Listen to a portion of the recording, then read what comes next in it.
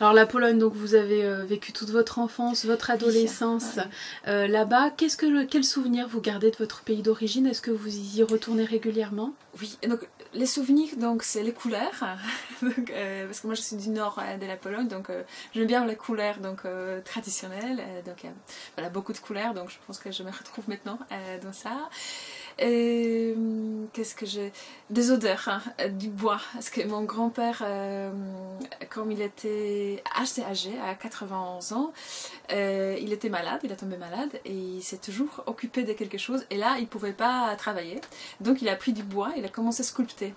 donc, il a découvert sa, passion à, à fond de sa vie parce que c'était vraiment tardivement et je me souviens de cette odeur hein, du bois donc je pense que dans ma famille on avait toujours quelque chose euh, une, gêne, euh, une, graine artistique. Euh. Votre enfance euh, a été baignée par ce côté artistique, mais aussi par les contes, les histoires fantastiques mhm. qu'on pouvait vous, vous, raconter. Mhm. Est-ce que vous pensez que c'est ce qui a, forgé votre caractère et puis mhm. ce, ce, ce, ce, cadeau que vous avez entre les mains, ce côté artistique que vous avez? Sûrement, sûrement, parce que j'ai toujours aimé de l'histoire pour les enfants.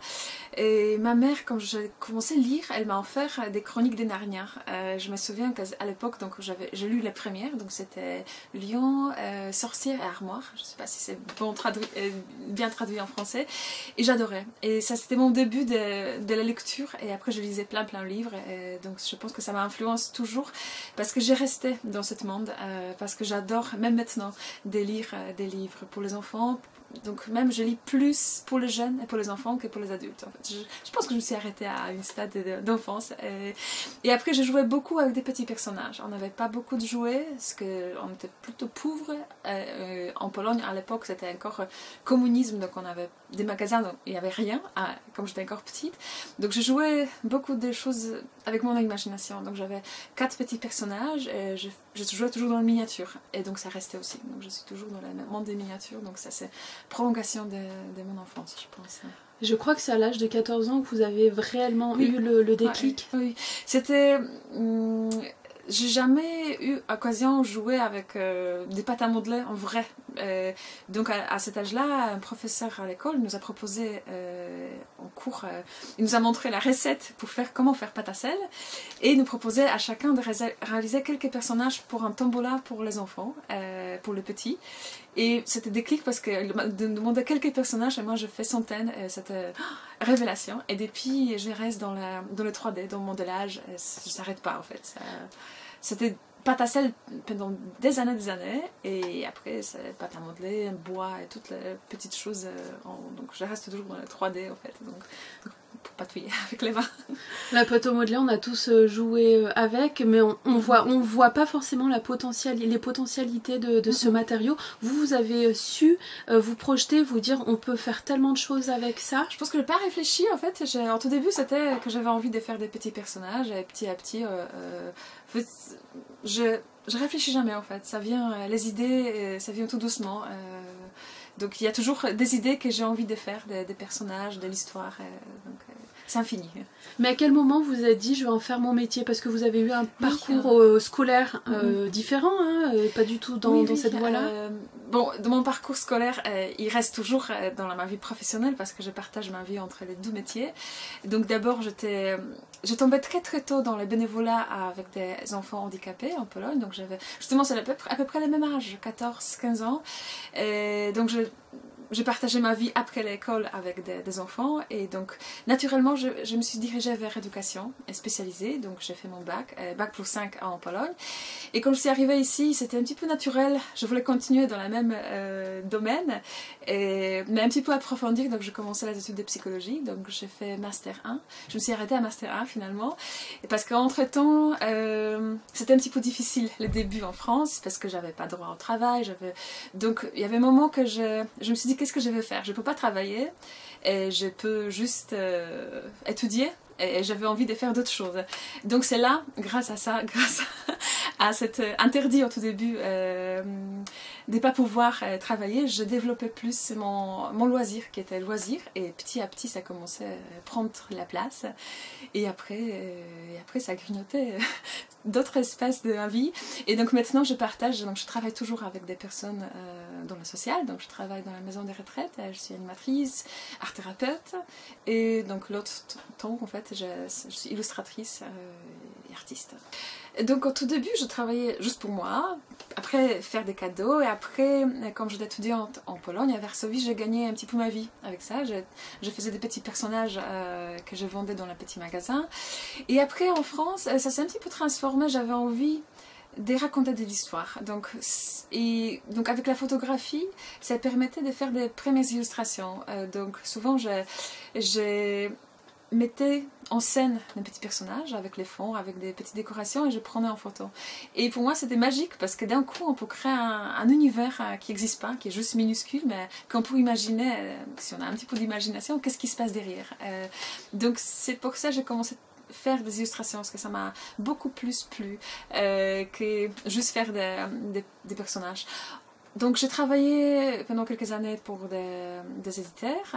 Je travaille toujours pour les commandes particulières, donc euh, ça, dépend. Euh, il y a des gens qui me commandent des petits personnages parce qu'ils veulent euh, faire un joli portrait de leur famille ou un faire-part. Donc je travaille aussi pour les particuliers et pour, les professionnels, pour les éditeurs. En ce moment, moins pour les éditeurs parce que ça demande beaucoup, beaucoup de travail et je ne peux pas en ce moment avec mes enfants. Est-ce que je veux être disponible donc je, je fais plus des petites commandes en ce moment.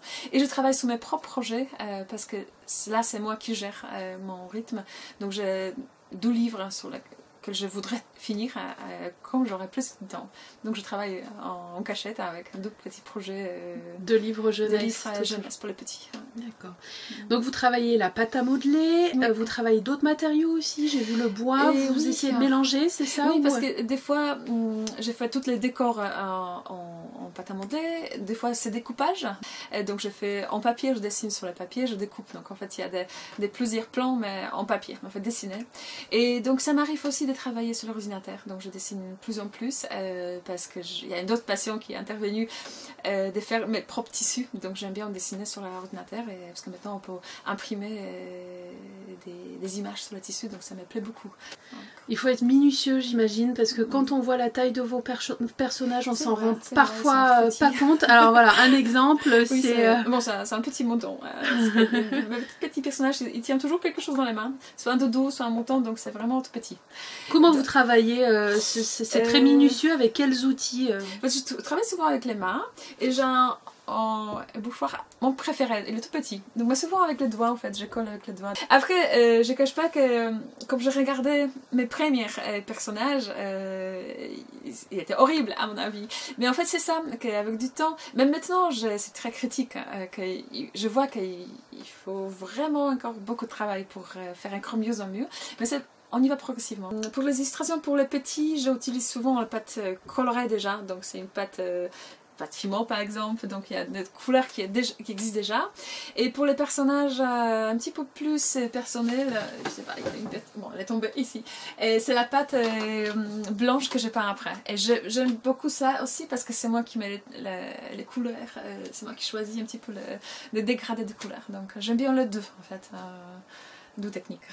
Jusqu'à là, je faisais beaucoup, beaucoup de personnages féminines, euh, donc les petites filles, euh, donc c'est moi. Et après, c'était un petit peu. J'ai toujours rêvé d'avoir des, des filles, et j'ai deux garçons que j'adore. Et donc, euh, ça s'est diversifié maintenant. J'ai plus en plus des personnages, des petits princes, voilà, comme ici, qui tricotent. Donc, donc il y a plus en plus de garçons. Donc chaque fois, il y a quelque chose qui, qui parle de mon histoire un, petit peu. Et vous travaillez euh, chez vous Votre atelier est ici? En ce moment, oui. C'est plus pratique euh, euh, parce que mes enfants sont tout petits. Donc je suis plus disponible. Je pourrais m'enfermer ici les soirs si je peux, matin ou à chaque moment. Donc je j'ai pas beaucoup de temps parce que j'ai décidé aussi d'être très présente pour mes enfants. mon fils a refusé, a refusé, il pleure pour aller à la cantine. Donc je, décidais finalement mon temps que j'étais, il était consacré pour mon travail, de la récupérer. Donc, il travaille à côté de moi, c'est son bureau à côté. Donc, euh, ces moments. Euh, voilà, c'est pour ça que j'ai décidé pour l'instant de travailler à la maison. Comme ça, on, partage beaucoup de moments ensemble, on, bricole. Donc, euh, je pense qu'il va avoir quelque chose d'artistique. Hein. Pas que, parce que son père, il est différent. Donc, il propose d'autres choses. Donc, il a un panel de. Après, c'est lui qui va choisir. Hein. L'illustration, c'est aussi votre univers et vous me disiez que ça vous plaisait beaucoup, mais ça prend du temps. Vous pouvez nous montrer quelques exemples? Je vois que vous avez à portée de main un des livres, qu'on se rende compte effectivement de l'ampleur. Un livre avec différents exemples justement de, mon travail. la plus longue illustration que j'ai fait, c'était illustration en on se rend pas compte parce que c'est une énorme mise en scène euh, du Père Noël, dans cet atelier des Père Noël. Donc il y a des étages, donc euh, j'ai passé beaucoup beaucoup de temps à fabriquer ça parce qu'il y a plus des étages, il y a en fait une pièce qui est au-dessus. Et donc après, après chaque, euh, chaque illustration, ça prend beaucoup de temps mais ça me fait vraiment beaucoup de plaisir. Euh. Qu'est-ce qu'on peut vous souhaiter, euh, Marlène, pour les euh, mois, les, années à, venir? Continuer d'être passionnée Oui, du sommeil, parce que pour que les enfants ils dorment mieux, parce que comme ça je pourrais avoir plus de temps et être moins fatiguée. Mais je voudrais bien que, que mes rêves en fait artistiques, des livres que j'ai eu du temps à les, à les réaliser, et je voudrais bien aussi euh, partager plus euh, euh, ma passion avec les autres, donc peut-être commencer à faire des ateliers pour les gens qui souhaitent.